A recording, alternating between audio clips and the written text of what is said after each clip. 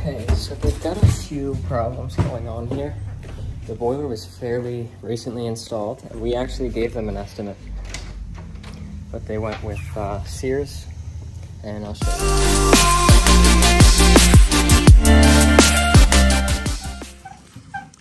Okay, so Peter's disconnecting the gas right now, but we are here to replace the inducer fan assembly, which has failed on this Burnham Alpine.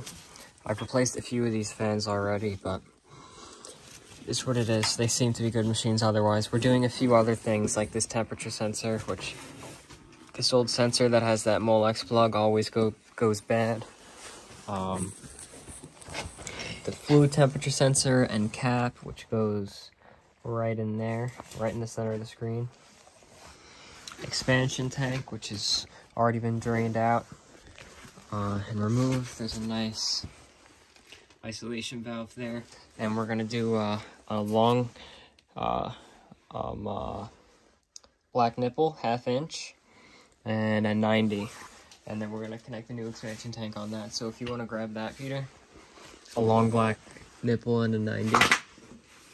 Yeah. And if you also wanna grab the, actually I'm gonna come out with you, but yeah, so we're doing full maintenance on it as well, aside from just replacing the motor uh, which I've shown before, but we'll be taking this uh, completely apart and then cleaning it out, putting it all back together, replacing anything as needed. And here's our Alpine service kit. Uh, you can actually buy this from Burnham. Um, it's nice. Has some compartments with some gaskets and things like that. And normally this sits right here, but I just took it out because I had to put a few things in here that are restocked. But here's the fluid temperature sensor cap uh, and grease. But we will be replacing the sensor itself as well. Um, see if I have one fluid temp sensor cap only. So they give you a lot of stuff. Whenever we maintenance these, we have all the parts that we would commonly need. So, surprisingly, it's really not too bad at all. But uh, that's just what's visible. I have to get in between all these tubes. Um, igniter and flame sensor were pretty bad. Peter's can clean those up. He got that piece in, and he is working on getting some spade connectors for the temperature sensor because the ones that were there were broken. So I'm gonna get to cleaning this up and that as well and putting our new fan on. Okay, so Mike had been here for most of it and he recorded a lot, but you can see we repositioned that expansion tank because uh, this is how they want it installed. That way it doesn't go bad as fast. Uh, we switched out that air vent, which clearly had been leaking for forever. Uh, our valves labeled. Got that temperature sensor swapped out and new connections with a new gasket. Uh, temperature sensor in here as well. Uh, it's running. Did our low fire and our high fire combustion analyses. And we're good to go. This is not wired in. It's probably broken, but it is what it is. Okay, so me and Peter are here at this service call. Peter ran to get me a few things. They just had the floors redone in this room, and our radiator is not level, but that's not the main issue. The main issue is we're leaking water. And watch. It was finger loose. So, I'm gonna put some pipe dope on it. Uh, I'm gonna make sure the mating surface is nice and clean. And then we will uh, tighten it up nicely with a pipe wrench, make sure it's nice and tight. Put pipe dope so that I can get more of a turn out of it when it's as tight as I can make it, and so that it doesn't seize in the future. So if you look at it, I just disconnected it, made sure that my surface is nice and clean, which it is. So just to kind of be safe, I'm gonna put a little bit of pipe dope on the mating surface. Very, very small amount. Um, to me, it just seems like that gives it more of a chance to seal. Maybe I uh, am wrong in that, but just uh, try to make my life a little bit easier. And then I'm gonna lightly put it on on the threads. I'll clean up the mess after. And they are getting radiator covers. So we're gonna try to shim the uh, radiator up a little bit. You can see this pipe, how it wants to be up higher than it is. I don't know what's directly below, but I'd imagine we might be trapping water in like a pipe underneath, possibly. So, move it into place. And it lines up pretty nicely. And I'm gonna get my first couple of turns of it with my Knipex.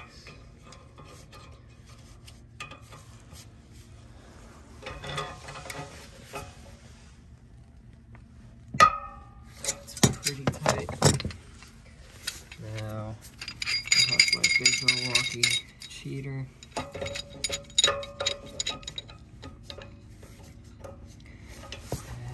go a little bit tighter. Like that for now. And we'll run the heat and we'll make sure that once the heat starts coming up here, we don't have any leaks. You can see I also had it temporarily on crescent wrenches to give it pitch, that way any water would drain out of it before I started working on it. But uh, now we gotta figure out what we can use to shim this while the boiler heats up and we wait for steam to make it here.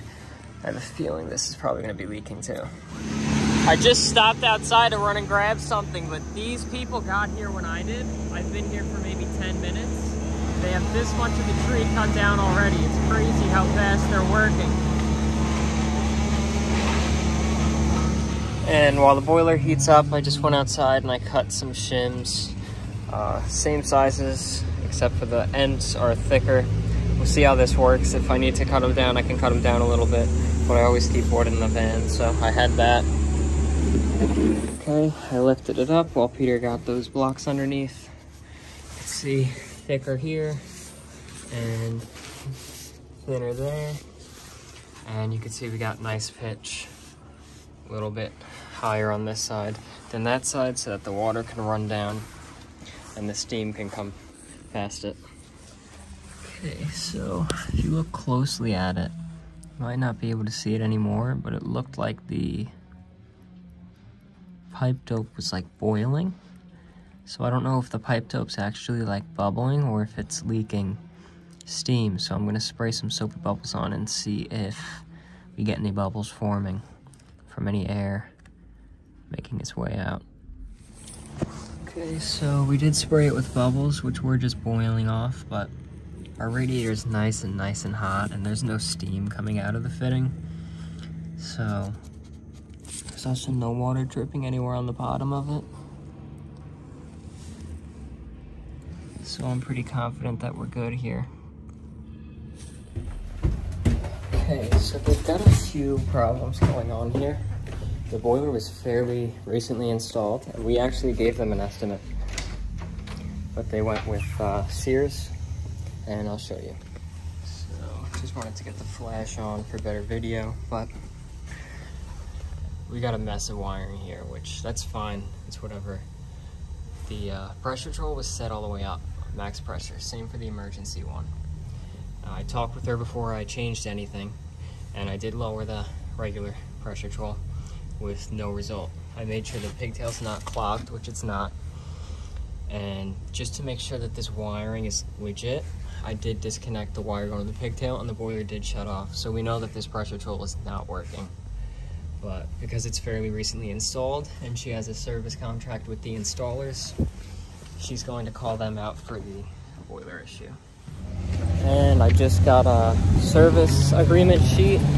See if maybe after they make the repairs to the boiler, she'll switch over to us. But uh, she seems to like the service we're providing. So that's it. I wish I could have done everything, gotten everything done, but it is what it is. She was uh, super happy. She uh, asked if uh, we're allowed to take tips, and I was like, "We are, but you don't have to do that."